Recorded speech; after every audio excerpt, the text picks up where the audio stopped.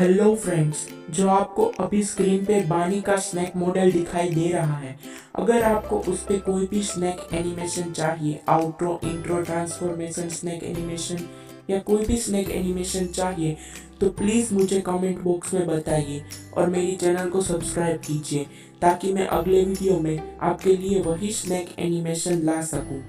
तो प्लीज़ मेरी चैनल को सब्सक्राइब कीजिए और मुझे जल्दी से कमेंट बॉक्स में बताइए। अगर आपको कोई दूसरी नागिन की स्नैक एनिमेशन चाहिए तो भी बताइए।